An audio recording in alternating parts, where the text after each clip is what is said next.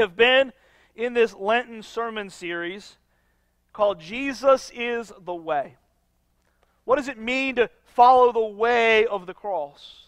Not just as a guideline to a historical document of Jesus' final days and weeks, but what does it mean for us to live out the way of the cross?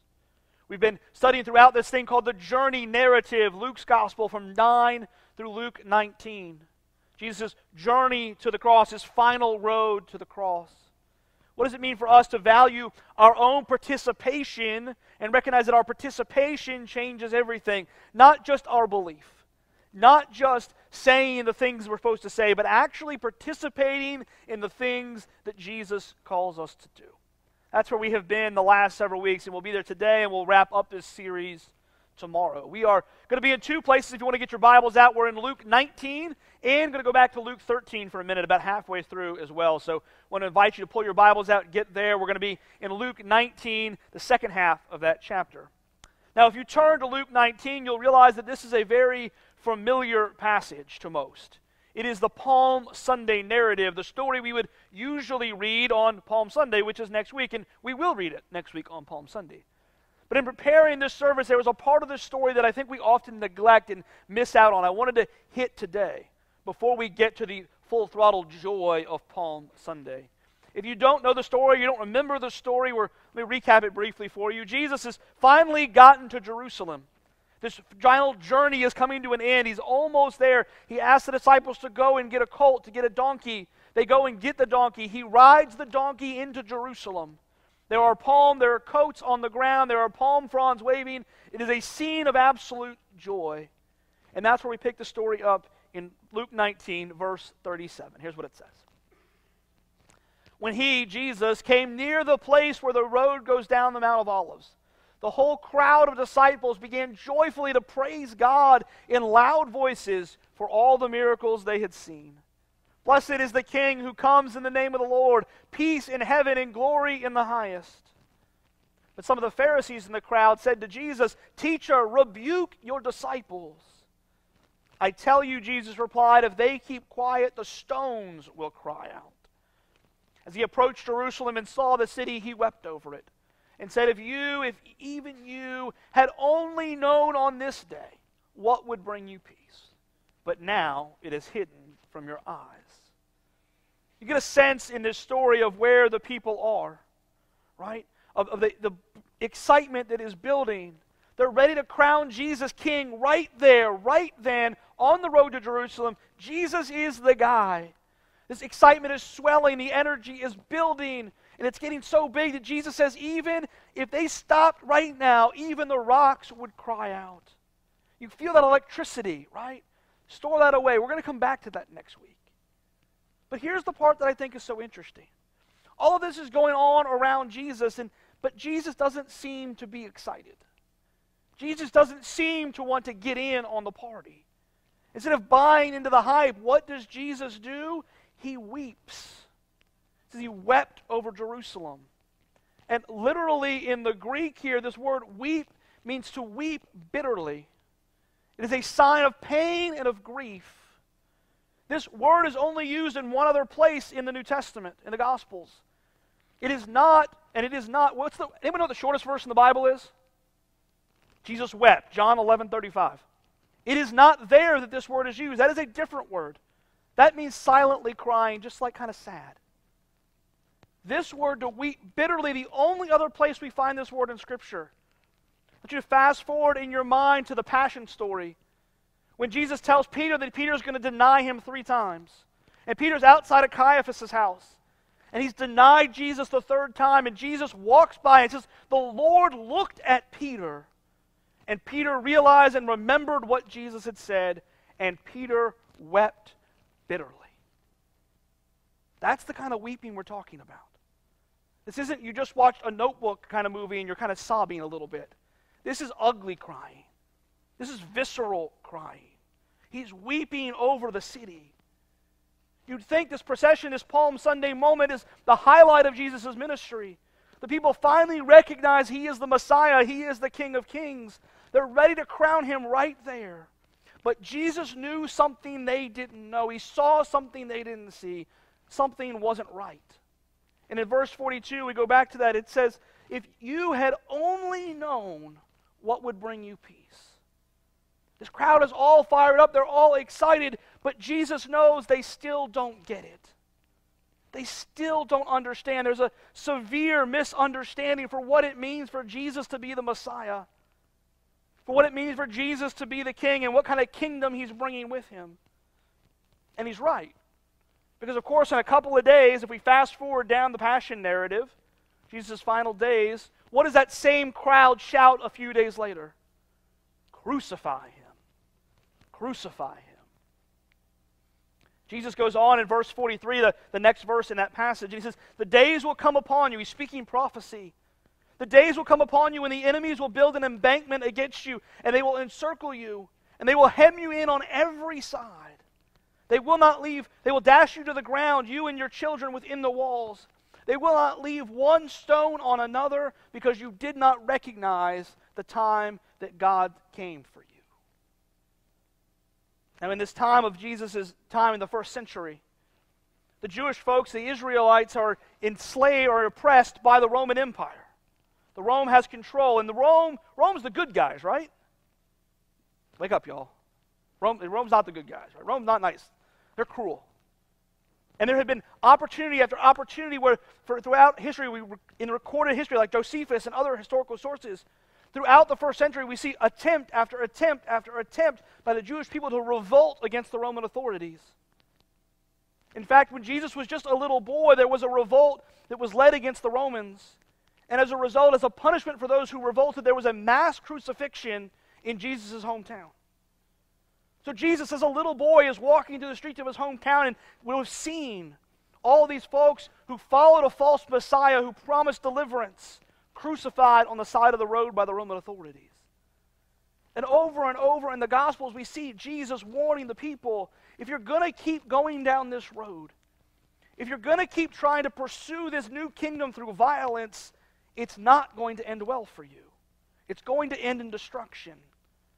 And of course, that prophecy is eventually fulfilled about 40 years after Jesus goes to the cross. In 70 AD, the Romans finally have had enough of the Israelites. They bring their army to bear on Jerusalem. They sack Jerusalem. They don't leave a single stone on top of another stone. They burn the temple. And according to the historian Josephus, over a million people were killed in this cleansing. They didn't get it. They so desperately wanted a king, and Jesus was the king. Jesus was the Messiah, come to save them and set things right. But he wasn't doing it with an army. And he wasn't doing it through political means, he wasn't doing it as a way to gain notoriety. He did it on a donkey and on a cross. Now, there are so many things we could chew on here. This, that kind of topic is a preacher's delight, right? But the one thing I want to point out, because as I read this text in preparing for Lent sermon series, something grabbed me. You ever read the same text over and over again, and you, all of a sudden you realize something you never noticed before? That's the part we just read. We skip over it. It's the tears of Jesus. The tears of the Messiah, I think, are at the heart of what it means to have a gospel. You can't separate Jesus' words from his tears. This word of warning, this prophecy he delivers, is not out of anger. It's not out of some stern, cold heart. It's not out of some kind of retribution for the people not getting it. It's not revenge. It comes through tears. It comes from a broken heart from a place of love and of compassion for these folk and for us. Jesus is not okay with the fact that things are not okay. See, the way of the cross ultimately is the way of love and is the way of compassion. And that's what we're going to talk about this morning. What does it mean for us to walk in the way of compassion? The word compassion shows up about a handful of times in the Gospels. And one of my favorite places it shows up is in Mark's Gospel in Mark 6, Mark's version of the feeding of the 5,000. It says in verse 34 that Jesus saw the large crowd and he had compassion on them because they were like sheep without a shepherd. And this word in the Greek for compassion is one of my favorite Greek words. It's so fun to say. It's splachnon. You'll say splachnon. Splachnon. If we ever have a Rottweiler deer, I want to name it splachnon. Okay? Be, Here's my buddy splachnon. Nobody, nobody will know it means compassion, but they'll think it's a fearsome name. And this word literally means gut level compassion. It comes from the root that means your innards, your guts. And it seems a little strange, but think about it. When you hear of somebody you know or love who's going through a bad time, where do you feel that compassion? You feel it inside, at our very core. And God, according to Paul in 2 Corinthians, is the Father of all compassion. He feels it in his guts. He feels it in a visceral way. He feels it, he feels the brokenness of this world. This world that God loves so much, but when it comes to the mess that we live in, Jesus reveals to us a God who doesn't stand off at a distance, but a God who comes down into the midst of that mess, who takes on flesh so he can feel it himself. Sometimes we forget that Jesus was both fully divine and fully human. Jesus would have felt that compassion in his gut. That's the kind of God we serve, a God who's invested, who's involved, is emotionally invested in who we are and what's going on. And when it comes to the mess of the world, our God is a God of compassion. And at the heart of this compassion is it's all over the place in Luke's gospel, maybe more so than anywhere else in the gospels. Because in Luke's gospel, every, with the exception of the story of Zacchaeus, who does Jesus spend his time with? The poor, the downtrodden, the marginalized, the sick, the outcast, the people that nobody else wants to hang out with. Over and over again in Luke's gospel, we see Jesus extending his hand out to them, engaging with the folks that nobody else would. One of my favorite encounters in the gospels is in Luke's gospel, in the journey narrative in Luke 13. If you flip over to Luke 13, you'll see it about halfway through the chapter. And it's this encounter where Jesus encounters this woman who's been crippled by the Spirit for 18 years, by a spirit, by the Satan. She's crippled, so she's walking over with a, with a hunch, and she's been doing it for 18 years. And Jesus tells us that it, this is this way because the accuser, Satan, has had her wrapped up for all that time. Now, in her society in the first century, that's not how they would have viewed it. They would have looked at that affliction and said, What's wrong with you? What did you do to deserve that?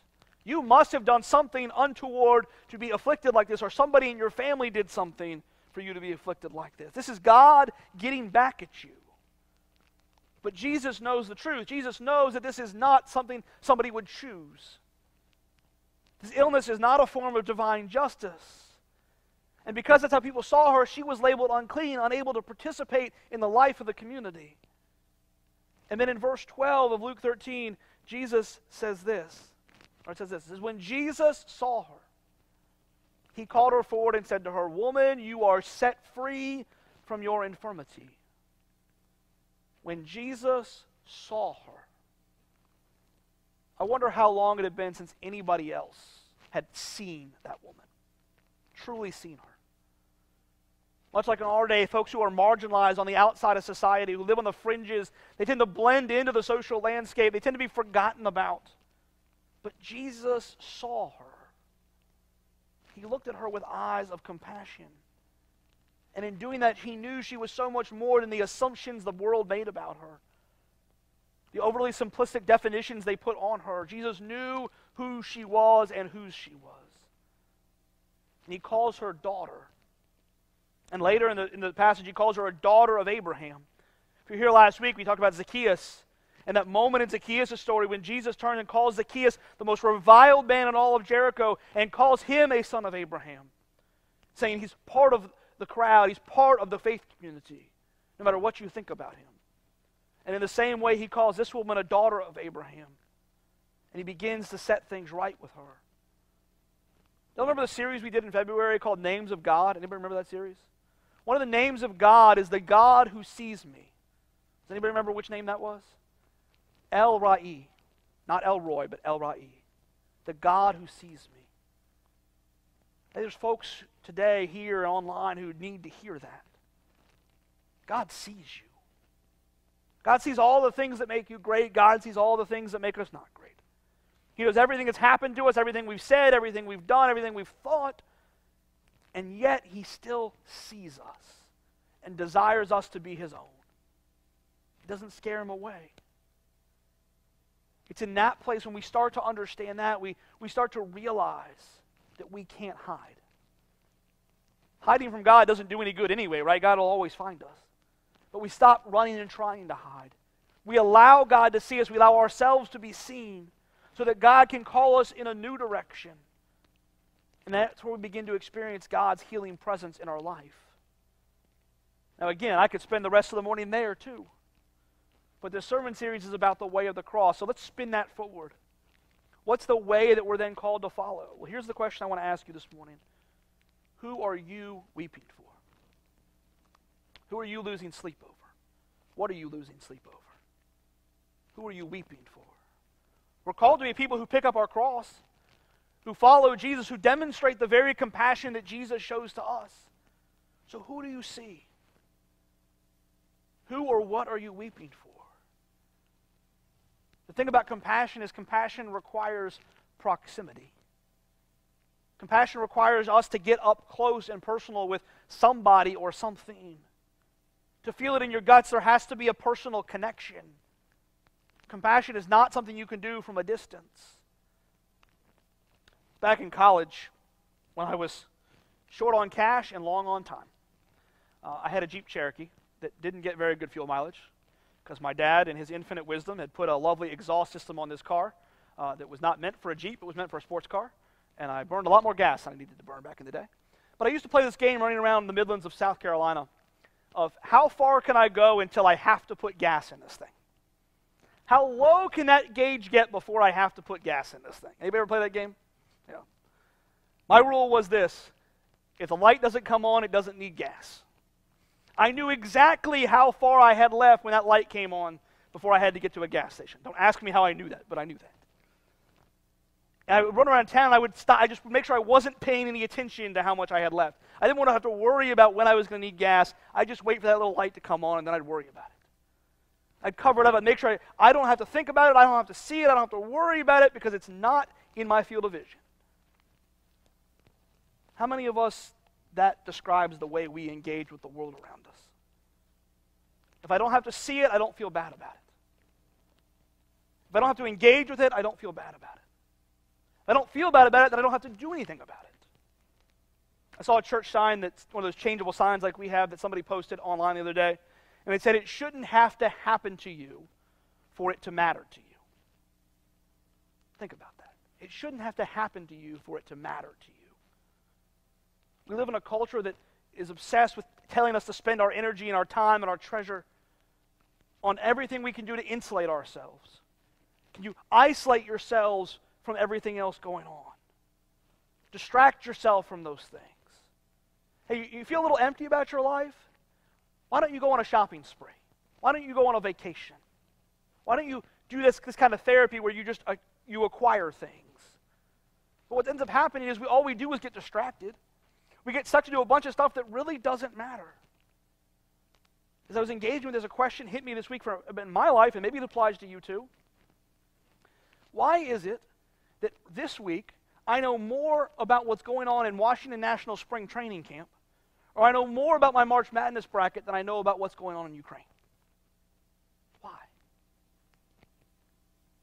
Why is that? It's a luxury we have. We're, we can afford to be distracted because it doesn't matter to us if we don't have to see it. And some of us, we know more about our favorite TV shows than we know about what's going on outside our front door. And we get sucked into the stuff and we numb ourselves with it. We insulate ourselves so we don't have to feel any of it. But the way of the cross, the way of compassion, leads us right into the middle of it. Who are you weeping for? What are you weeping for? What are you losing sleep over? We've got to be close to it. We've got to have proximity to it and the new life that Jesus offers us, this abundant life in us and the work that God wants to do through us, that stuff really begins with this sense of disruption.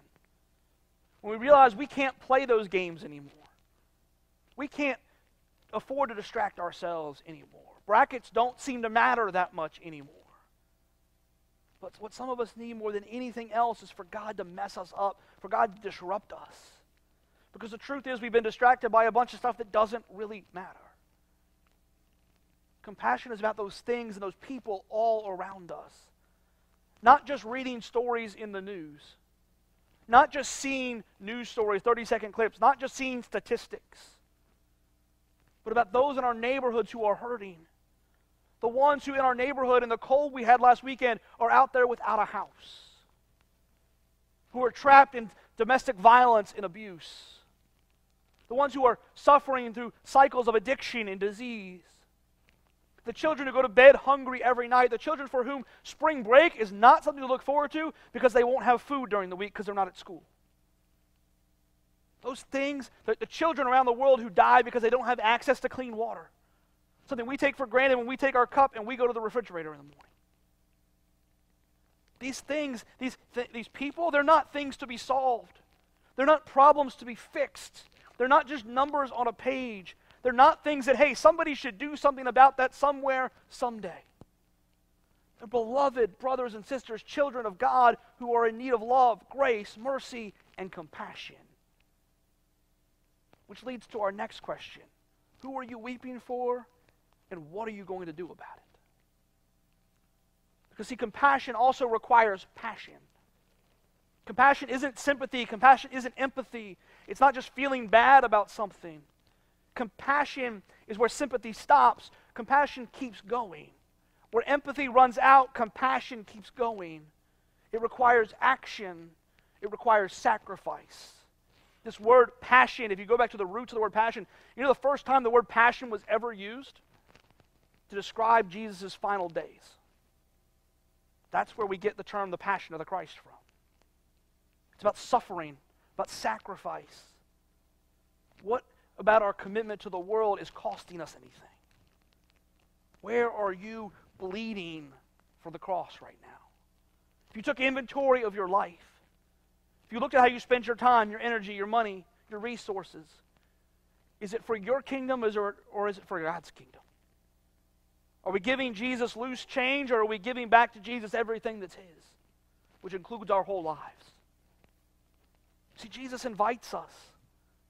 Jesus invites us to take up our cross. The very beginning of the series, the beginning of the journey narrative, starts with Jesus saying to his disciples, Take up your cross and follow me. And it's more than just bearing up the difficult things of life. And people say all the time, it's one of my pet peeves. They, you know, I've been bearing my cross. I had a flat tire yesterday. I got to go to my in laws tomorrow. Pray for me. I'll pray for you. But that's not bearing our cross. That's just life being life. Taking up our cross is about asking God, how far are we willing to go in order to help rescue the world and to show the world the love that God has shown us? Taking up our cross is about following Jesus into the broken parts of the world and partnering with Him to help put those pieces back together. What does that look like? And the beauty of being the church, of being Christ's body on earth, is that we get to be a part of that. We get to be a part of putting those pieces back together. We have, look around the room, look around who's online in the chat this morning. We have resources, we have creativity, we have means, we have God given gifts and abilities to think about how do we use those things to provide compassion to the world around us. But it's not just doing things, because that too quickly can become us reaching down and saying, Let me fix this for you. It's also about relationships. Because the only way out of poverty, whether it's financial poverty or spiritual poverty, the only way out of poverty is through building relationships. And the thing about relationships is that when we build them, they have to be genuine. They can't be transactional.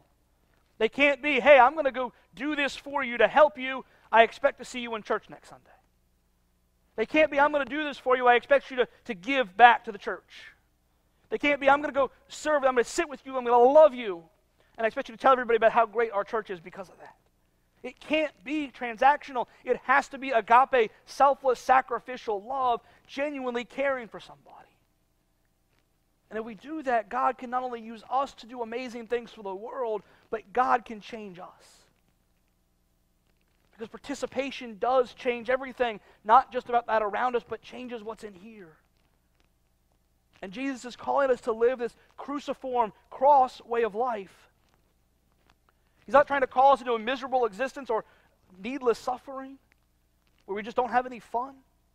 Jesus is calling us into this relationship to rescue us, to rescue us from our indifference, from our greed, from our obsession with routine and schedule from a life that is void of meaning.